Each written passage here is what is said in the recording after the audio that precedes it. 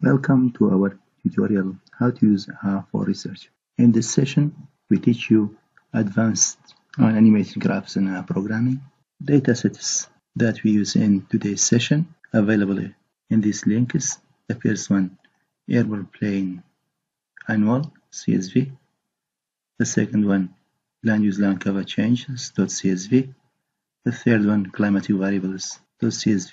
In this session, we use a list of packages.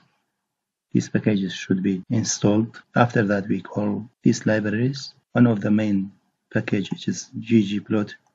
We use it for creating advanced graphs. And we use gganimate to animate figures.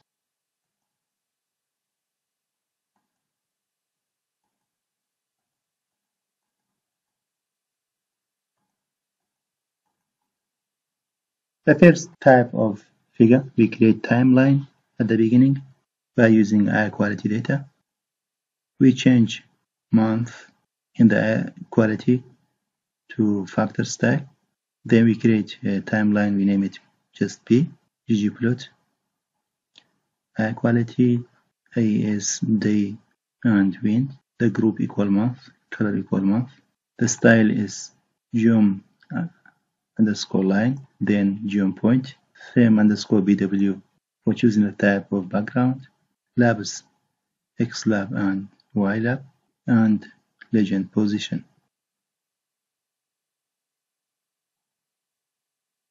That's timeline. Then we animate it by using transition underscore reveal function in gganimate package. And we use day transition reveal by day. It takes some times, around 15 seconds to be ready. That's the output animated timeline. Let's convert the wide to long data frame. df long equal gather d f station rain قشتپا to shorsh stations After that, let's create graph.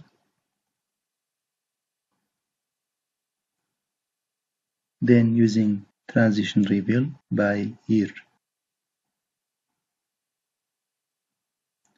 We select the height and width of the figure. We can save the animated figure as a GIF format by using anim underscore save function then the name which we gif to this graph, for example, a name precipitation new dot give. We open climatic variables data, we name it df. After that, create geom call. That's the figure. Now we give it animation by using transition time by month.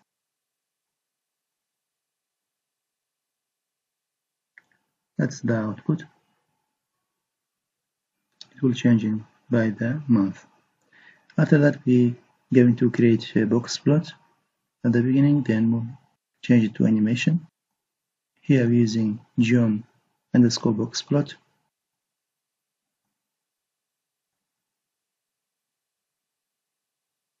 That's the box plot without animation. After that, we use transition underscore time by month. Then violin type of figure.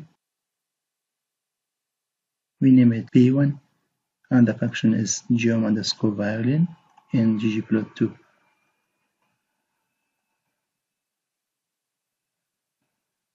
Then we use transition underscore states function to give it animation. After that we have gtaplot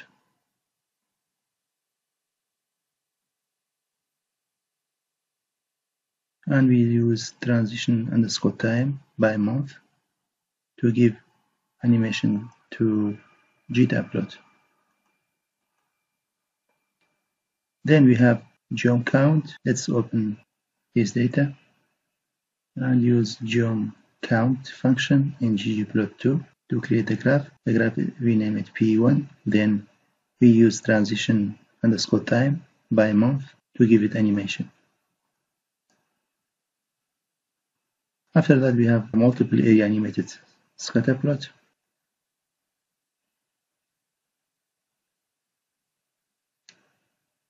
We use transition time by month to animate the graph. In the same way, we have scatter plot. At the beginning, using geom underscore point function to create the graph. Then using transition time by month to change it to animation. FPS equal to, that's the speed of animation. In the same way, we can create map using geom underscore sf function. We name it gg.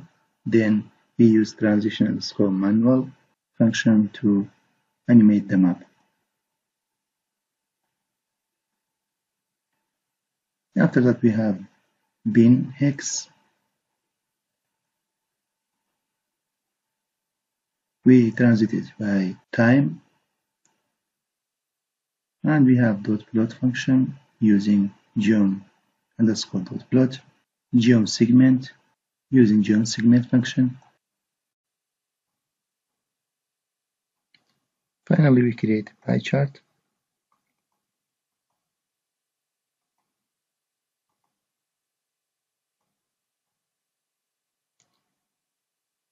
That's the pie chart without animation. Then we use transition time function by year. Take some seconds to be ready. That's our animated pie chart,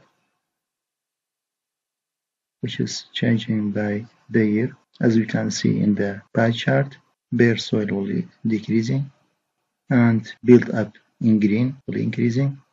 That's the end of today's session, animated graphs in uh, programming.